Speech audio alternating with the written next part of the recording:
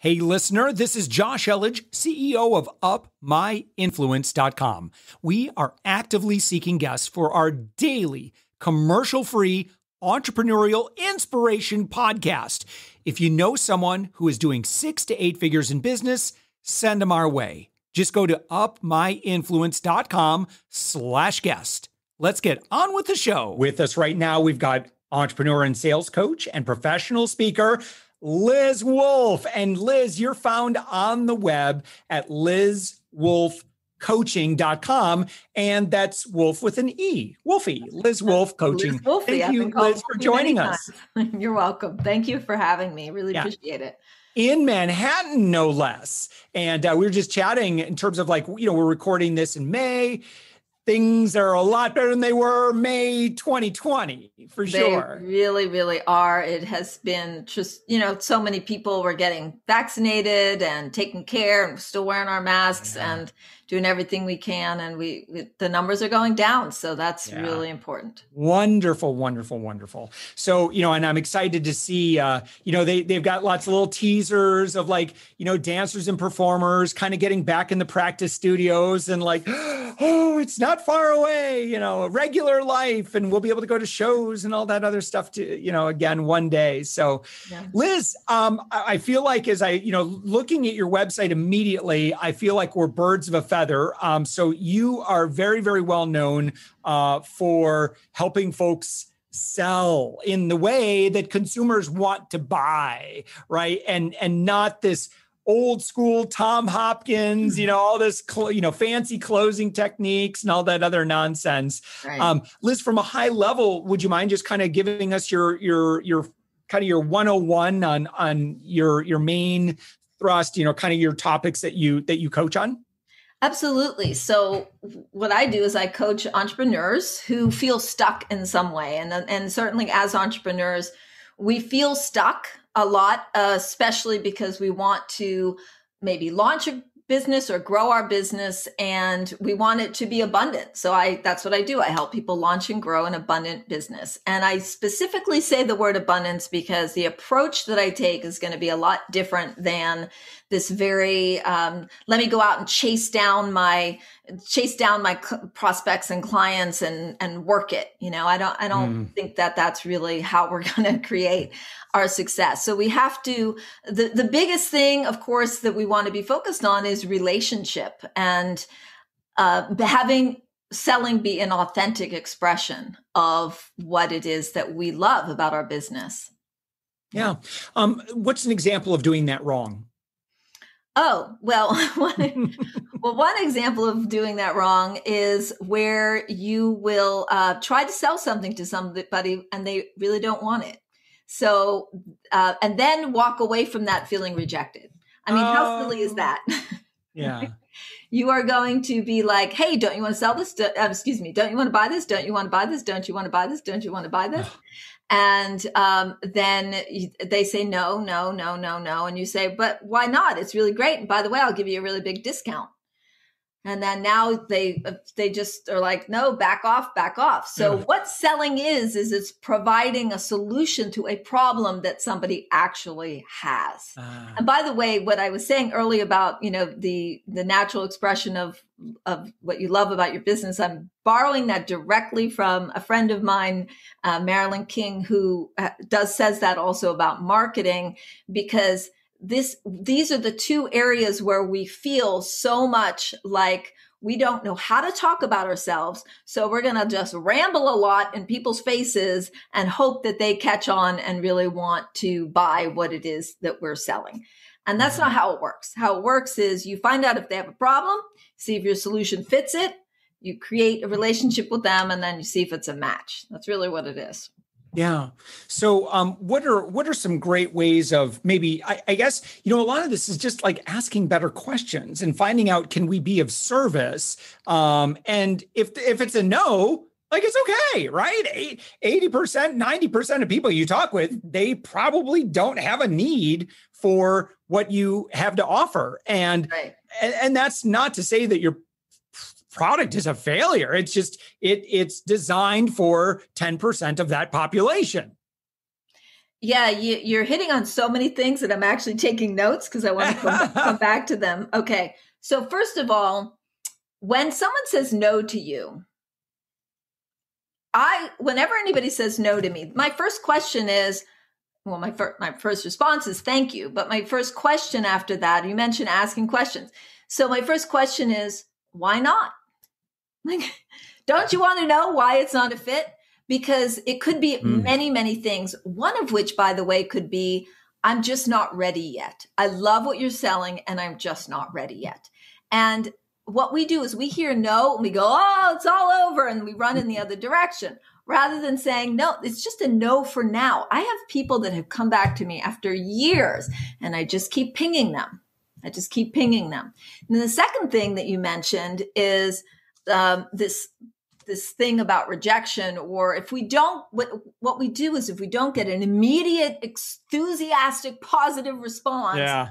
we go oh there's a you know it could be a hundred reasons why somebody hasn't bought anything from they're not ready they don't have the money right now it wasn't quite a fit they misunderstood what you said. I mean how many times does that happen you just have misunderstandings and let, let me help you clarify. Is there anything i can help you clarify?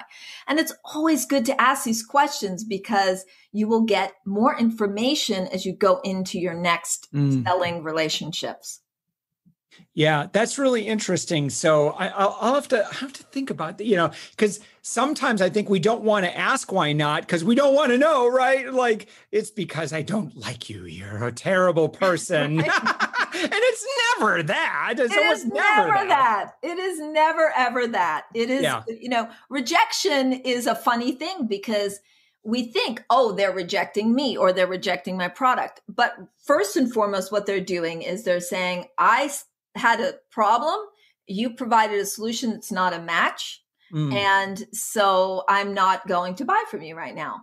Um, and so every time I've ever asked somebody why, they always say something about themselves. They never yeah. say something about me. Right. So, so, but I'm making up a whole story about it. And uh, now, one other thing that I want to say that we take with this, because I think this is a crucial, crucial piece of information, which is that we say, oh, they didn't, I followed up with them one time or twice and I didn't get a response. So no. no.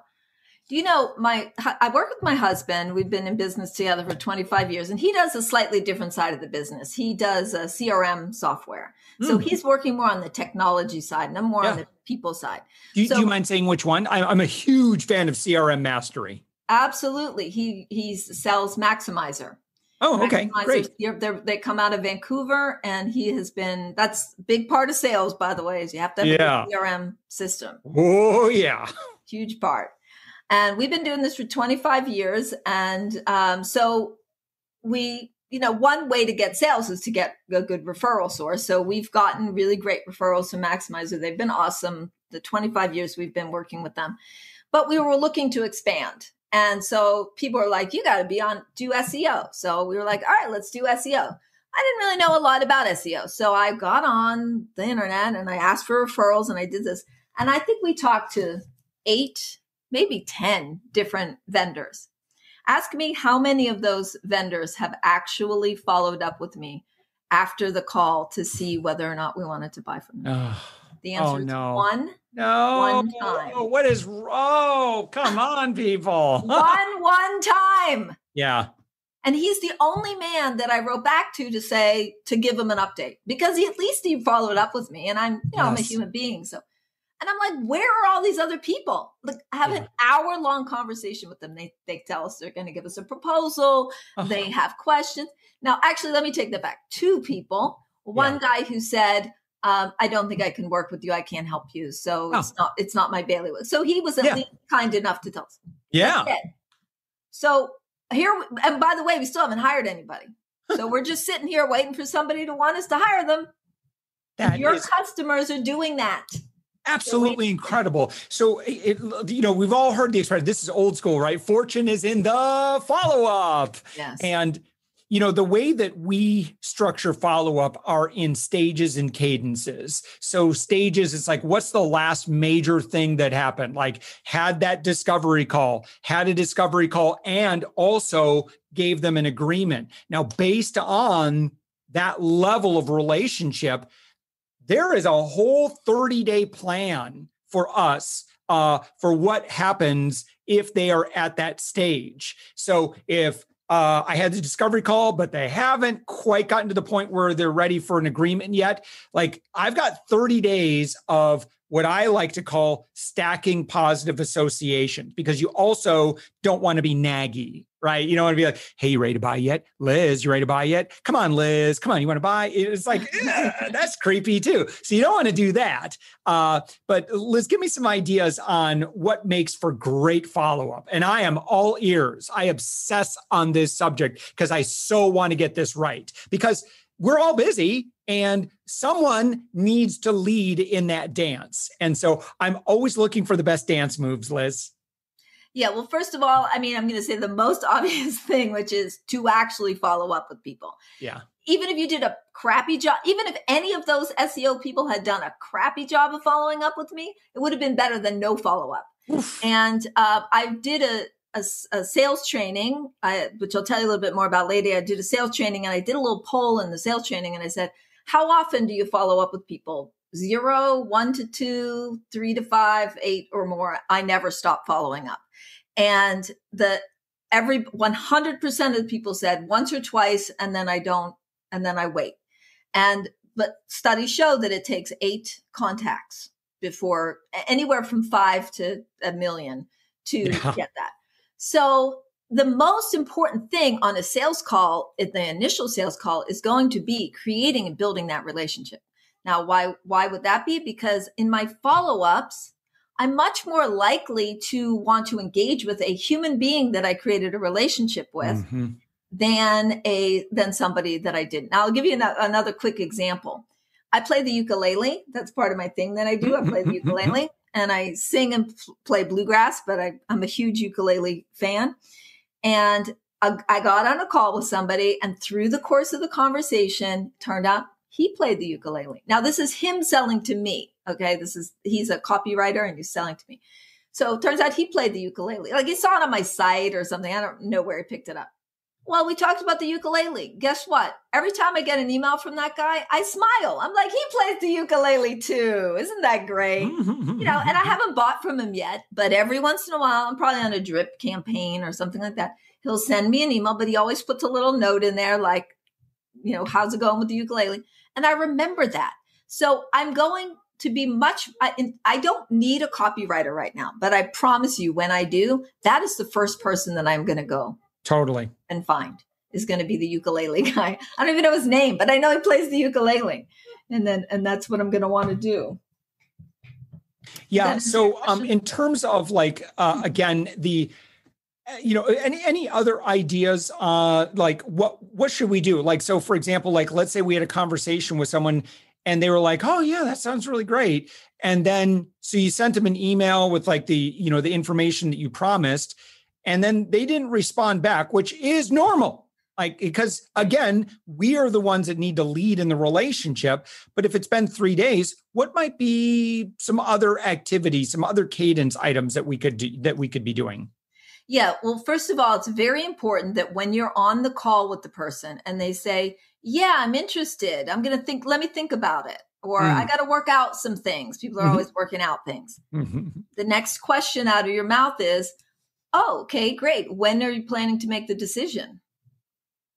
Okay. Now I have an idea. If he's, if, if, uh, you know, the SEO people had said that to me and I said, well, we're talking to 12 other vendors. And so it's going to be four weeks from now. Now I have an idea. I know what to expect. See, that's part of the problem. It's like, I'll follow up with you.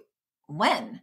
Or, or you know, I'll get back to you when. So you want to get off the phone with them knowing when they're going to make that decision. And then, so what I'll say is, so let's say they're talking to me about coaching and they say, well, I'm gonna, I'm talking to a couple other coaches. I'll talk to you. Uh, I'm going to decide by next Friday. So I'll say, so they'll always say, I'll follow up with you, but they don't follow up. No, no, So- they're not, no, they're not going to. they don't have to because it's not their job. Not Yes, their right, job. exactly. Right. So I'll say, okay, if I haven't heard from you by Monday, I'll follow up with you. So now they know to expect that I'm following up with them. That's the first thing.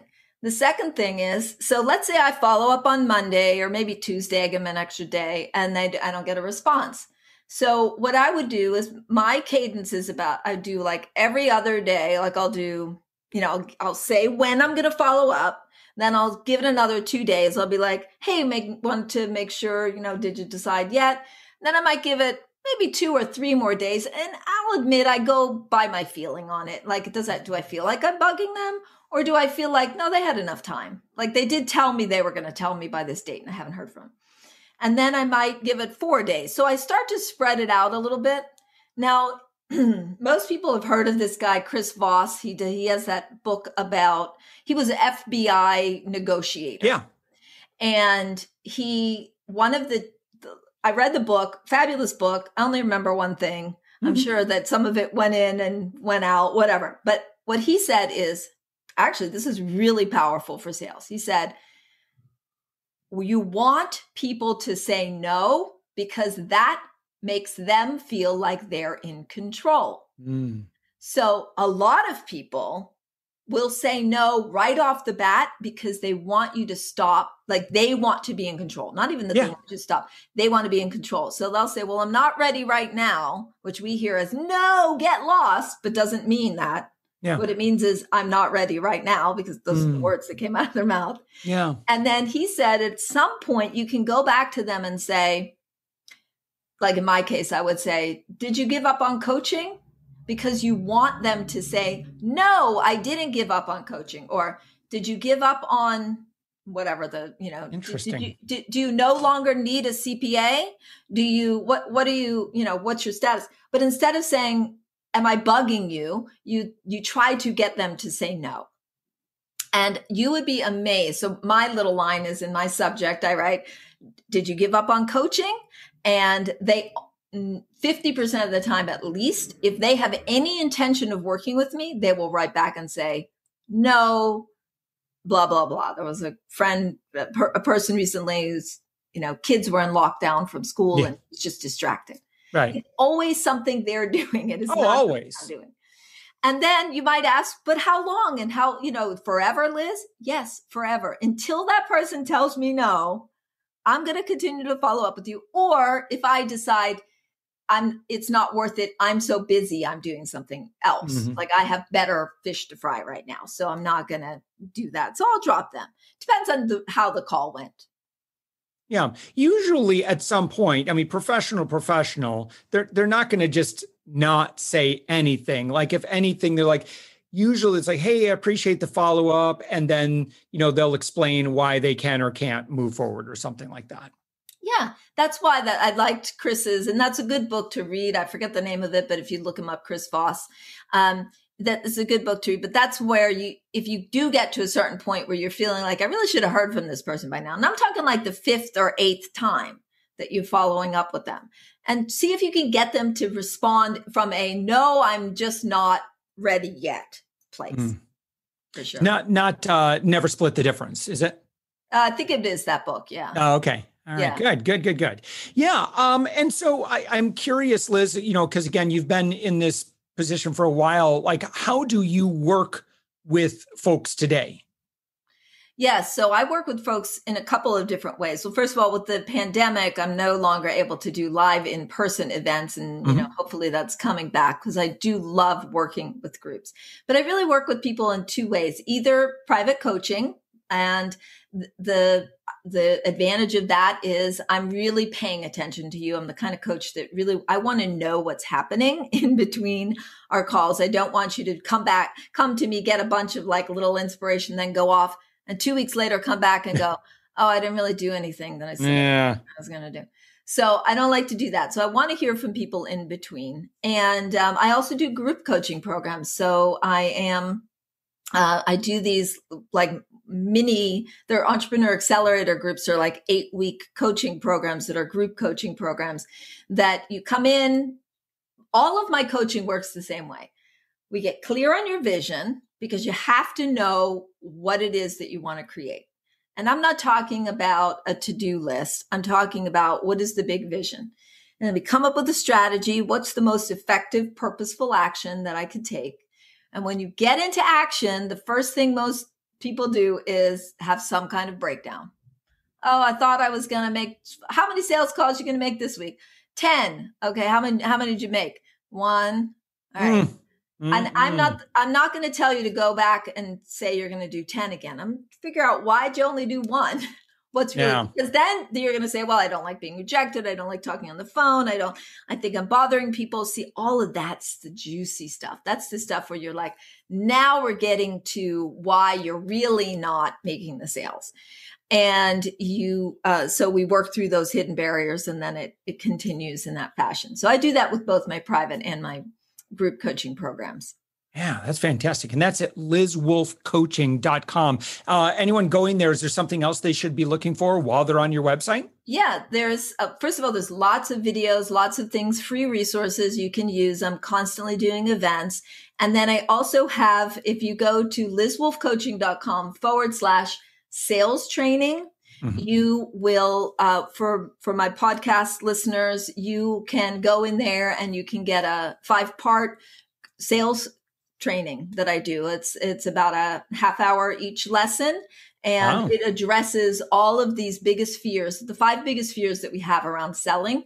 So you can do that. And I usually offer that training for a cost, but I'm willing to give it to you so that you can get in and really see how this works uh, for free. So you're welcome to go in Liz Wolfe Coaching forward slash sales training. Awesome. All right. Liz Wolfe, again, lizwolfecoaching.com slash, you said sales? Sales training. Sales training. All one, word. word. Awesome. Oh, sales. But just go to my website, reach yeah. out to me. I'm there. You can even schedule a call with me. Uh, I'm completely accessible and available. Lots of resources and downloads and lots of things you can do. Fantastic. Liz, thank you so much for joining us. Yeah, thank you, Josh. It's been so great to be a guest with you. I love uh, your all of your podcasts are awesome. I encourage everyone to go listen to all of them. The information is really great. Very kind of you. Thanks, Liz. okay, you're welcome.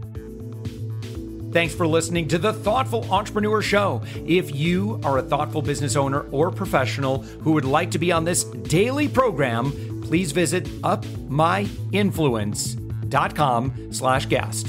Now, if you've got something out of this interview, would you share this episode on social media? Just do a quick screenshot with your phone and text it to a friend or post it on the socials. Now, if you do that, tag us with the hashtag UpMyInfluence. Each month, we scour Twitter, LinkedIn, Facebook, and Instagram. We pick one winner from each platform, and you get crowned king or queen of that social media. Now, what do you win? We're, we're going to promote you and your business to over 120,000 social media fans totally free. Now, can you also hook us up? Now, in your podcast player right now, please give us a thumbs up or a rating and review. We promise to read it all and take action. We believe that every person has a message that can positively impact the world. Your feedback helps us fulfill that mission. And while you're at it, hit that subscribe button. You know why? Tomorrow, that's right, seven days a week, you are going to be inspired and motivated to succeed. 15 minutes a day. Now, my name's Josh Elledge. Let's connect on the socials. You'll find all the stuff we're doing at upmyinfluence.com. Now, thanks for listening, and thank you for being a part of the Thoughtful Entrepreneur Movement.